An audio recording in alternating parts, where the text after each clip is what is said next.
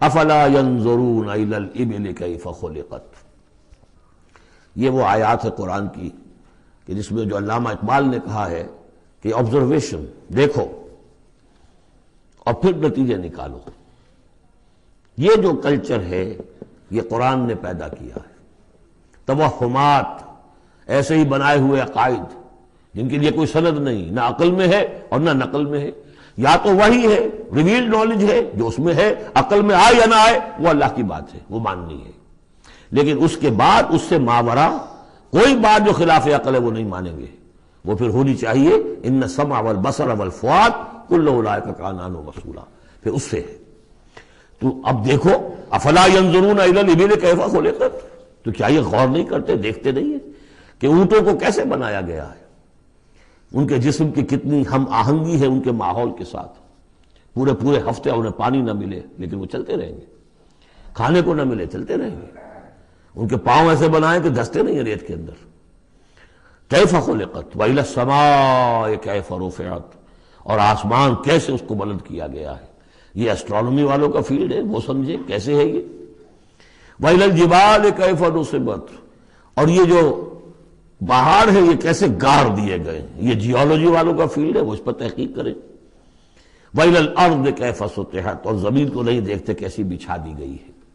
ویسے اس کا ایک خاص، وہ سمجھ لیجیے پس منظر بھی ہے کہ کن چیزوں کی طرف، ویسے تو ہر کائنات کی ہر سے اللہ کی نشانی ہے۔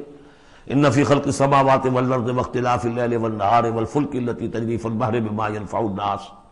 وما انزل الله من السماء من ماء فاحيا به الارض بعد موتها وبث فيها من كل دابة وتصريف الرياح والسحاب المسخر بين السماء لآيات لقوم يعقلون ہر شے آیت ہے۔ شیخ سادی کہتے ہیں، برگ درختان سبز، در نظر ہوشیار، ہر ورق دفترست، از معرفت کردگار۔ یہ جو درخت ہیں، ان کے جو پتے ہیں یہ ہرے ہرے پتے۔ جو دیکھنے والی آنکھ ہے اس کو تو یہ ہم میں سے ہر پتا ایک دفتر نظر آتا ہے معرفت کا، اللہ تعالیٰ کی معرفت کا۔ اور آج ہمیں معلوم ہوا ہے کچھ نہ کچھ، آج سے پہلے لوگوں کو معلوم نہیں تھا کہ ہر پتے میں ایک فیکٹری ہے۔ فوٹو سنتھسس کی فیکٹری ہے کہ جو اس، جو یہ سولر انرجی ہے اسے، وہ جذب کر رہی ہے اور اس کو جو ہے کنورٹ کر رہی ہے، وہی انرجی ہے جو لکڑی کے اندر سٹور ہو رہی ہے، پھر آپ لکڑی جلا کر نکال لیتے یہ آگ کہاں سے آ گئی؟ وہی سولر انرجی، اس کی سورس وہی ہے۔ اور اس سولر انرجی کو، سورج کی اس اس حرارت کو جذب کر رہا ہے یہ پتا، اور وہاں وہ عمل جاری، ہر پتا ایک فیکٹری ہے فوٹو سنتھسس کی۔ تو برگ درختان سبز در نظری ہوشیار، ہر ورق دفترست ازمار فتح کردگار۔ لیکن یہاں چار چیزوں کا ذکر جو ہوا ہے، یہ ایک خاص پس منظر ہے۔ آپ کو معلوم ہے کہ ان لوگوں کے جو پہلے مخاطب تھے قرآن کے، ان کی زندگی گزرتی تھی سفروں میں۔ لیلت الشتاء و سیف اور سارا یہ حجاز کا علاقہ تھا جب یہ چلتے تھے، تو چلتے ہوئے کیا چیز ہے؟ اونٹ پر تو سوار ہیں اوپر آسمان ہے، دانے بائیں پہاڑ ہے نیچے زمین ہے۔ یہ چار چیزیں وہ تھی کہ جو ان کے لیے ہر وقت، ہر آن ان کے نگاہوں کے سامنے۔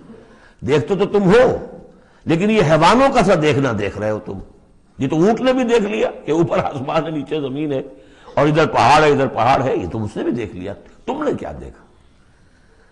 دم چیز پیا میں شریدی نہ شنیدی۔ در خاک تو یک جلوے آمیخت نہ دیدی۔ یہ سانس جو آ رہا ہے، یہ پیام ہے، کوئی پیغام ہے اللہ کا۔ کبھی سنا ہے کہ نہیں سنا؟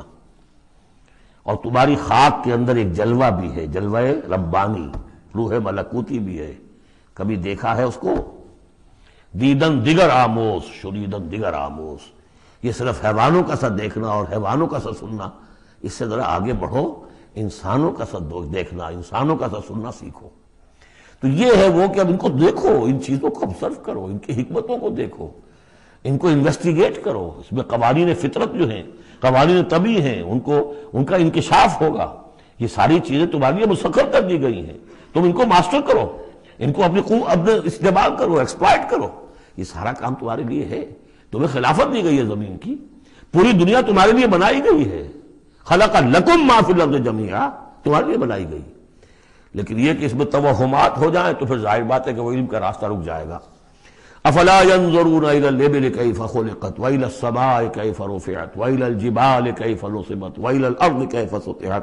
فذكر انما انت مذكر تو اے نبی، آپ نصیحت کرتے رہیے، تذکیر کرتے رہیے، ان کو بتاتے اور سکھاتے رہیے، یاد دہانی کرتے رہیے۔ آپ تو بس یاد دہانی کرانے والے ہیں، آپ ان کے اوپر لست علیہم بمسیطر، آپ کو داروغہ نہیں ہے کہ کان پکڑ کر لے آئیں ان کو ہدایت کے راستے پر۔ یہ آپ کا کام نہیں۔